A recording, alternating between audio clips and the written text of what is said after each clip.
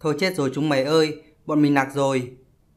Cái gì cơ anh Hiếu, sao anh bảo anh biết đường cơ mà?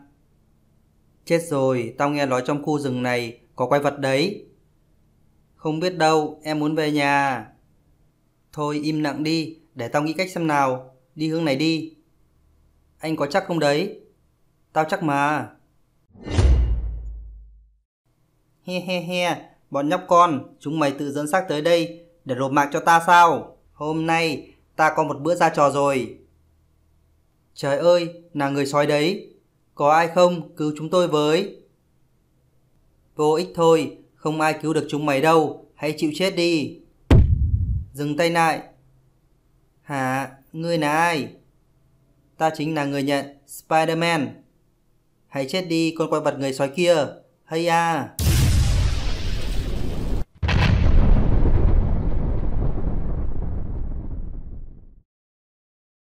Hoan hô, người nhận Spider-Man thắng rồi.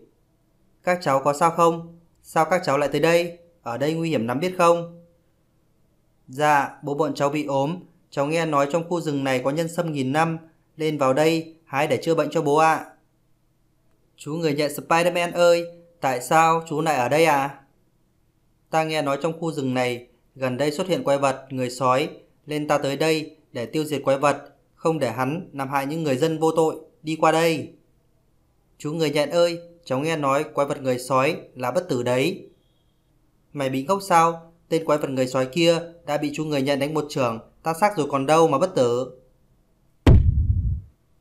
He he he, các ngươi tưởng rằng đã giết được ta sao? Hay à!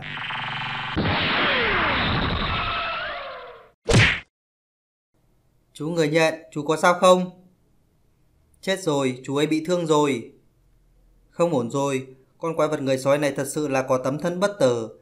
Hiện tại ta đang bị thương, không phải là đối thủ của hắn. Ta sẽ cầm chân hắn, các cháu hãy mau chạy đi, cứ chạy thẳng theo hướng mặt trời lặn, các cháu có thể ra khỏi khu rừng này. Chúng ta ở đây cũng không giúp được gì chú ấy đâu, chúng ta mau đi thôi.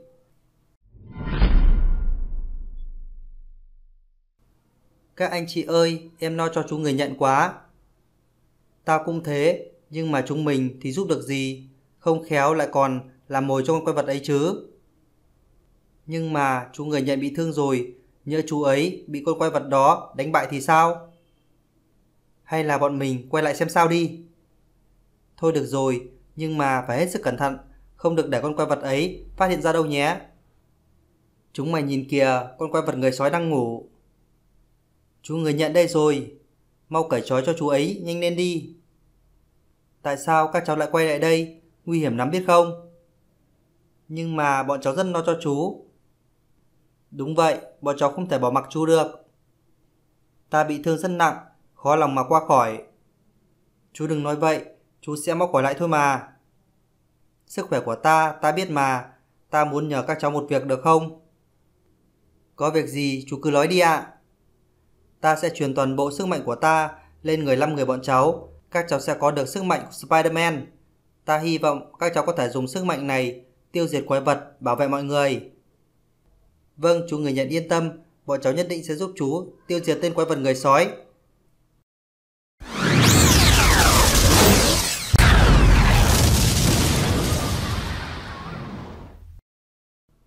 Ơ, chú người nhận đâu rồi? He he he, bọn danh con thì ra chúng mày trốn ở đây. Trời ơi, là tên quấy vật người sói đấy. Lũ nhóc con, hãy chết đi.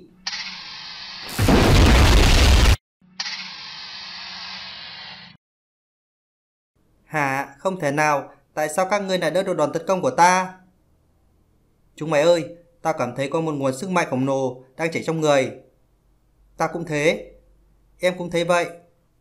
Có lẽ đó là sức mạnh Spider-Man mà chú người nhận truyền cho chúng ta.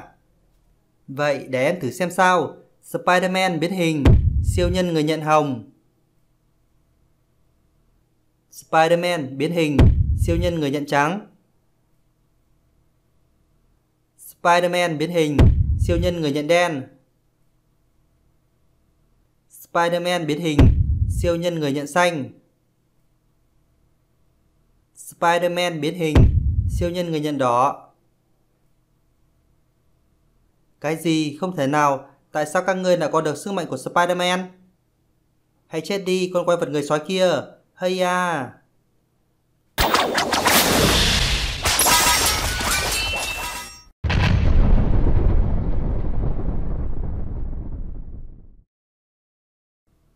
Hoan hô, chúng ta thắng rồi. Không đúng, giác quan người nhận cho em biết vẫn còn nguy hiểm.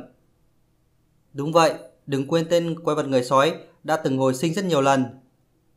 Nếu chúng ta không thể tìm ra bí ẩn về cơ thể bất tử của hắn thì chúng ta không thể nào chiến thắng được. He he he, đúng vậy, các ngươi mãi mãi không thể thắng được ta đâu. Hắn lại hồi sinh lại kìa. Chúng mày có nhận thấy cơ thể của nó đã lớn hơn rất nhiều không?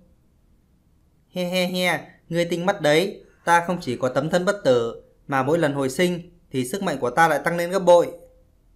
Ngươi đừng hòng hù dọa bọn ta. Hắn không nói dối đâu anh Hiếu ạ, em cảm nhận được sức mạnh của hắn đã tăng lên rất nhiều lần.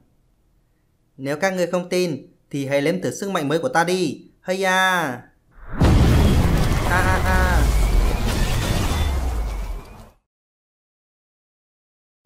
Trời ơi, con quái vật này mạnh quá. Cả năm chúng ta hợp sức lại cũng không phải là đối thủ của hắn. Hơn nữa, dù có tiêu diệt được hắn, thì hắn lại hồi sinh lại mà còn mạnh hơn trước. Vậy chúng ta phải làm gì bây giờ? Này con quái vật kia, tại sao ngươi lại có thể hồi sinh mỗi khi ngươi chết? Đúng là con thảo tổ, mày nghĩ nó lại nói cho mày chắc. He he he, đúng vậy, ta sẽ không bao giờ nói cho ngươi biết ta đã lút viên ngọc hồi sinh, tu luyện hàng nghìn năm. Viên ngọc đó không ai có thể phá hủy, vì nó ở trong cơ thể ta nên nó đã hấp thu linh lực của ta. Mỗi lần ta chết, nó sẽ giúp ta hồi sinh. Ôi thôi chết, mình đã nói bí mật cho bọn chúng biết rồi. Xem ra con quái vật này có IQ chỉ ngang với Thảo Tô thôi. Anh Hiếu à, cứ coi thường em, nhờ có em mà chúng ta mới biết bí mật của nó đấy. He he he, dù các ngươi có biết cũng vô ích thôi, các ngươi không thể nào phá hủy được viên ngọc đó đâu. Thì ra là vậy, mọi người ơi em có cách rồi, chúng ta hãy hợp lực tấn công bằng toàn bộ sức mạnh. Hay à!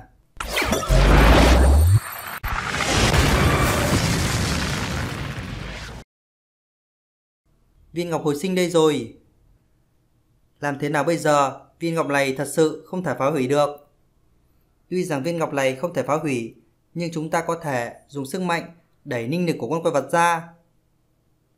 Đúng vậy, chú người nhận có truyền sức mạnh cho chúng ta, vì vậy linh lực của chú ấy còn lưu lại trong người chúng ta. Chúng ta hãy truyền linh lực của chú ấy vào viên ngọc và hồi sinh cho chú người nhận.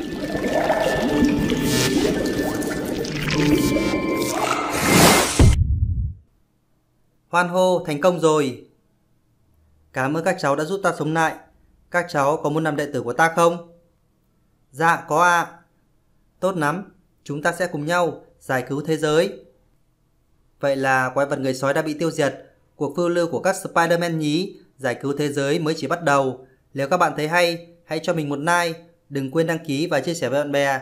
Bây giờ thì xin chào và hẹn gặp lại các bạn ở video sau.